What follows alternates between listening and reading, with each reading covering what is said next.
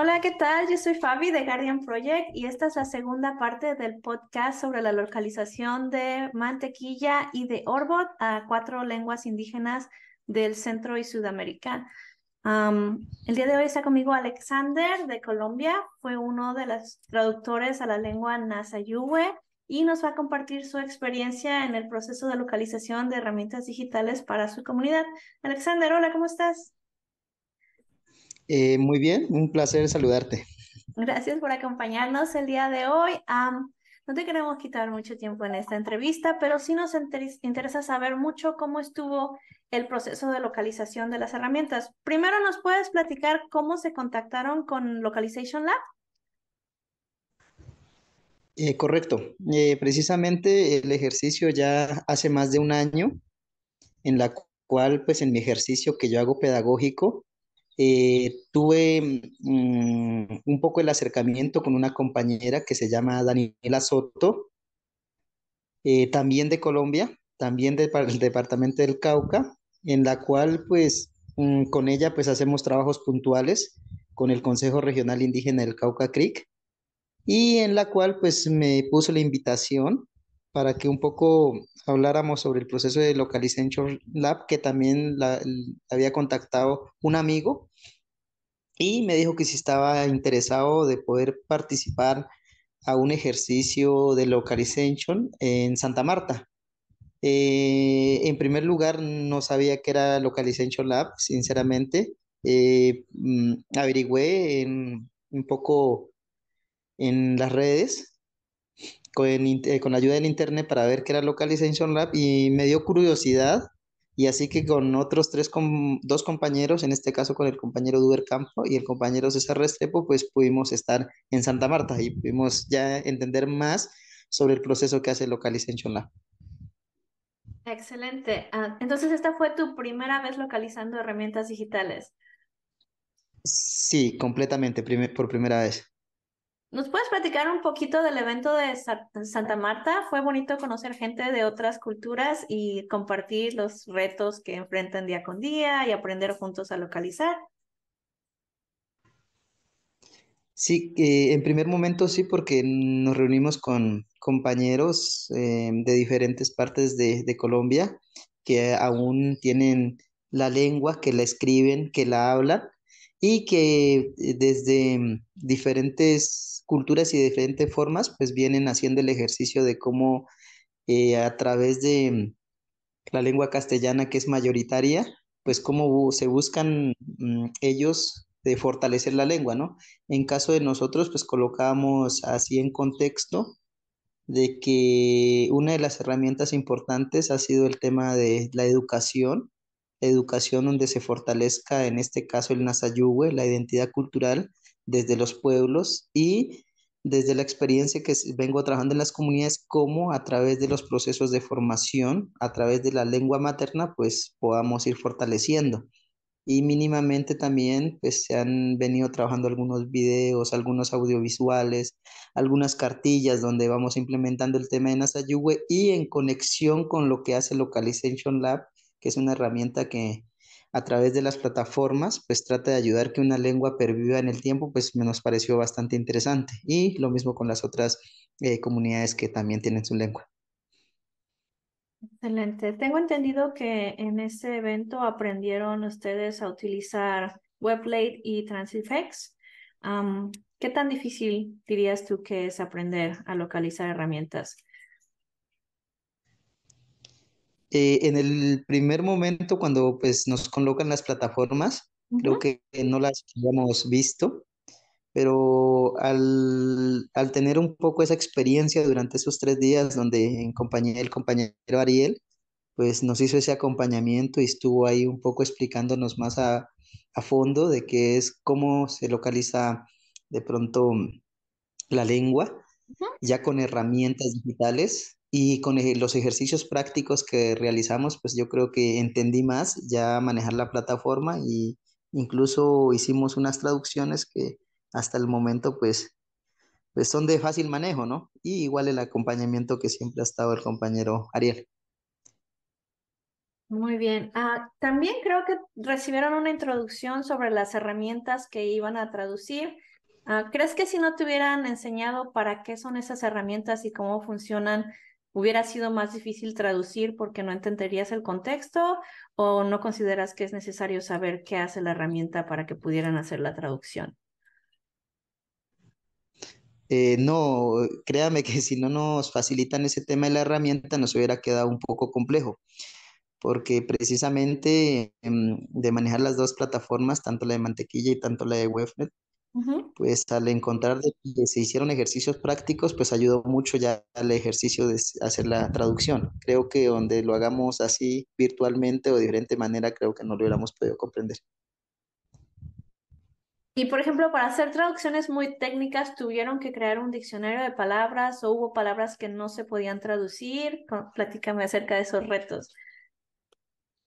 Eh, en eso sí, eh, creo que nos tratamos de cuidar mucho. Mm, lo colocamos allá en contexto que el Nasayuwe como otra lengua pues tiene muchas variaciones dialectales. Okay. Que la lengua para las comunidades indígenas eh, es una política y eh, la, la, unificación del alfabeto Nasayuwe precisamente ya está establecido, pero mínimamente eh, se, se, nos ha ido quedando porque nos hemos quedado solamente con las palabras que venían escribiendo nuestros mayores, pero ya en el avance tecnológico ya para colocar los nombres en ejemplo de cómo traducir el tema de Android, eh, cómo traducir el tema de, mm, de Wi-Fi, cómo traducir el tema de, mm, bueno, de palabras que en este momento van más técnicamente a cómo ha avanzado la tecnología, pues nunca la hemos utilizado porque no hemos llegado hasta esas herramientas que propone. Entonces sí nos queda un, mm, nos queda un poco complicado en la cual pues nosotros eh, para no tener dificultades dejamos las palabras tal cual y traducimos solamente pues lo que hemos venido trabajando. Y ahorita pues ya lo hemos en los contextos con el compadre y César, ya hemos venido analizando que sí es muy interesante, algunas ya investigamos que sí ya las han venido trabajando como teléfono, como computador, entonces ya también ya vamos utilizando pero hay algunas que en caso de red, en caso de enlaces, en caso de, mm, bueno, muchas que sí hay esa duda que ya tendríamos que trabajar en conjunto para pues ir mirando cómo sería esa traducción eh, bien realizada a lo que nosotros esperamos para que sea entendible a las comunidades en este pertenecientes al pueblo NASA. Ay, qué interesante saber que sí hay como un diccionario de nuevas palabras que antes no había en tu lengua. Eso está muy padre. ¿Está disponible ese diccionario o esas palabras que encontraron en algún otro lado, en línea? ¿Ustedes lo están compartiendo?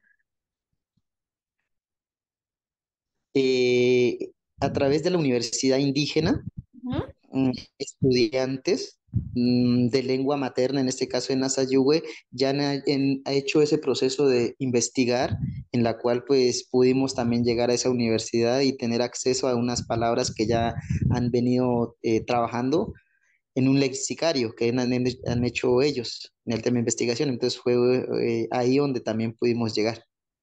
Qué bonito, eso está muy, muy interesante. Aparte de esas palabras que no existen porque son muy técnicas, ¿qué otros retos enfrentaron ustedes para la traducción? Eh, eh, otro de los eh, detalles fue la variación dialectal, porque mm, la variación, a pesar de que está el alfabeto unificado, pero mm, en el marco de la variación no sabíamos cuál dejar de las variantes. y, eso fue otro reto porque mínimamente como apenas está consolidando todo ese tema de el alfabeto, entonces nos queda un poco complicado. Pero pues tratamos oh, perdón, perdón. Mi pregunta era si Nasayuwe se habla solo en Colombia. Eh, Nasayuwe sí, solamente se habla en Colombia. Pero en varias regiones entonces. Claro, en este caso está en ocho departamentos del Cauca. Ah, en ocho departamentos de Colombia, qué pena. ¿Tienes idea de como cuántos hablantes de Nasayuwe hay? No, no, no tengo esa información. Ok, ok. ¿Crees que localizar estas herramientas digitales va a ayudar a, a, la distribución de las herramientas o la gente que está usando estas herramientas ya está más interesada en usarlas en español? mm, utiliza las herramientas porque mm, eh, creo que la necesidad ah, para las comunidades indígenas a través de la tecnología ha llegado lentamente, pero ha llegado. Y al llegar estas tecnologías, pues ha, ha hecho ese rompimiento de que la lengua materna de nosotros pues se vaya debilitando, que es preocupante. Al localizar estas herramientas y mirarlas en el marco de la lengua materna, el análisis que hacemos pues fortalece porque eh, lastimosamente en la comunidad del Nasayuhue, en el pueblo Nasa, ha venido y ha sido muy oral. Ya al llegar estas tecnologías, eh, nos ha puesto a pensar y nos ha puesto a reflexionar un poco que es muy necesario de que se vayan escribiendo y se vayan utilizando estas herramientas, pero en nuestra lengua materna. Y yo sé que la comunidad lo va a aceptar y creo que va, a tratar de, de, poderlo utilizar diariamente, ya que es una necesidad que es bastante preocupante para las comunidades indígenas hablantes del Nasayuwe. Ok, y una vez que estas herramientas están localizadas, ¿qué más se necesita para que esas comunidades las utilicen, para que se enteren que existe? ¿Qué, recomendarían ustedes? ¿Una publicación en redes sociales, imprimir carteles, hacer un video en YouTube o se pasa de boca en boca la existencia de estas herramientas? ¿Cómo podemos hacer que todas estas comunidades que hablan la misma lengua sepan que existe y las usen? Eh, ahorita como el avance tecnológico y así sea eh, comunidades indígenas, todos tienen acceso pues, a las herramientas tecnológicas, a tener un celular.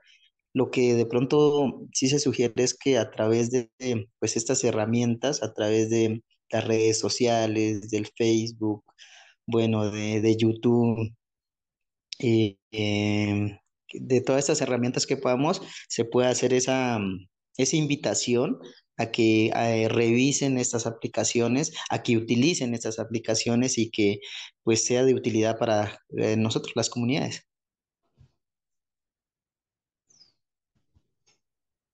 Y, por ejemplo, si quisiéramos crear manuales de uso para esas herramientas, ¿ustedes tendrían capacidad para crear manuales de uso que fueran no muy técnicos y que la comunidad los entendiera? ¿O es, tú crees que solo traduciendo los manuales que existen, que son un poquito técnicos, eso ayudaría? No, habría que construir esos manuales de uso.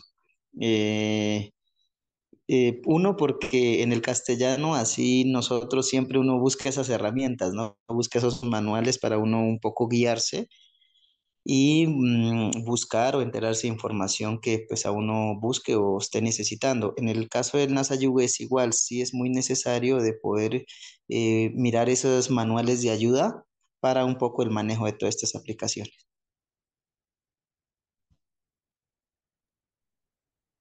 Tiene mucho sentido. Y ya para cerrar esta entrevista, ¿Me platicas desde tu punto de vista cuál, fue la parte más importante de este proyecto y de tu colaboración? ¿Qué fue lo que más te gustó? ¿Qué te gustaría que se siguiera haciendo en el futuro? ¿Qué fue lo más impactante en tu opinión personal? Eh, hay una cosa que cuando revisamos un poco todo, todas las mm, herramientas que te ofrece eh, el tema de la aplicación mantequilla, que de pronto a las comunidades les puede ayudar mucho porque mínimamente la mayoría de la comunidad hablante del Nasayuwe eh, todavía conserva mucho su lengua, es porque no ha tenido ese contacto directo con todo este tema del Internet. Hay comunidades que están en zonas donde no llega la red de Internet, así que cuando Ariel un poco nos comentaba que va a ser una aplicación que se puede descargar muy fácilmente y que se pueda utilizar tanto en los equipos móviles como en los eh, computadores y que sea una herramienta que sea utilizada y sin tener acceso y que se pueda manejar, pues era muy interesante. Y más si de pronto colocaran o se mirara que fuera en nuestra lengua materna. Entonces es bastante interesante el proyecto a lo que se apunte, a lo que observábamos. Eh, sí, eh, nosotros lo mirábamos también de que ya una vez eh, se pudiera hacer todo ese trabajo, sería muy interesante compartir esta información por los diferentes canales, diferentes redes sociales, para que pues todas las comunidades pues tengan acceso y revisen un poco el trabajo de, del cual creo que nosotros también apuntamos de que es el uso de nuestro Nasayuga en las diferentes redes. Incluso por eso creo que es que ustedes hacen y creo que desde la experiencia que nosotros también como eh, dinamizadores de una comunidad, venimos trabajando es también la elaboración de canciones, elaboración de cartillas, eh, la elaboración de material pedagógico que dé a nuestros niños que utilicen la lengua materna para que pues la lengua perviva. Si ya, si han instalado la aplicación Mantequilla y ya han usado algunas de las aplicaciones o todavía no. Eh, yo, yo la tengo, pero no, no, no la he utilizado porque había una solamente en función. Creo que entré una vez solamente a, a distraerme en el tema porque tenía el tema de juegos que sí funcionaron y las otras en ese momento no estaban todavía todas. No creo que explore todo. Ok. Vienen algunas de mapas fuera de línea, vienen algunas para hacer ejercicio, algunas para traquear tu salud. Tienen aplicaciones para conectarte al Internet de forma anónima. Hay aplicaciones para ver YouTube sin que haya comerciales. Hay aplicaciones para descargar videos y audios de YouTube que después puedes compartir con otra gente cuando no hay Internet. Entonces sí, hay una selección interesante. Cuando tengan tiempo, pruébenla y vean cuáles aplicaciones ah, son de mayor ayuda en su comunidad y después podemos platicar de la localización de esas aplicaciones. Vale, correcto, sí. Incluso la, he recomendado ya a personal que trabajo en el entorno y creo que ellos han sido más juiciosos de revisar la aplicación porque me han dicho que no, no conocían la aplicación. Duber, ah, estuvimos platicando ya un poquito de lo que fue el proceso de localización de mantequilla y de Orbot para ustedes y del evento en Santa Marta. ¿Tú fuiste parte de ese evento también? Sí, señora, sí, estuve participando en este evento. Desde tu punto de vista, ¿qué fue lo más importante de, juntar esas comunidades en persona? ¿Crees que hubiera sido el resultado muy diferente si el entrenamiento se les hubiera dado solo en línea y no hubieran conocido a los otros equipos? Creo que fue importante porque la participación y también entre la diversidad de los pueblos indígenas que eh, fueron convocados fue muy importante. Ahí compartimos experiencias de cada uno de sus de punto de vista, bueno, bueno, en lo que nos eh, convocaron y bueno, pues lo que se pudo como a, construir, a lo que aportaron, al trabajo que nos fuimos convocados, pues fue muy interesante. ¿Conectaron entre ustedes? ¿Siguen en conversaciones con los otros equipos? En el momento no, pues eh, con pues ha sido muy pocos eh, con los que hemos compartido. Hasta un tiempo sí estuvimos, eh, después de, muy en lo que fue muy reciente, después del encuentro, sí estuvimos, eh, tuvimos contacto en las líneas, pero ya después que como no nos volvimos a, a volver a conversar por, por estos medios.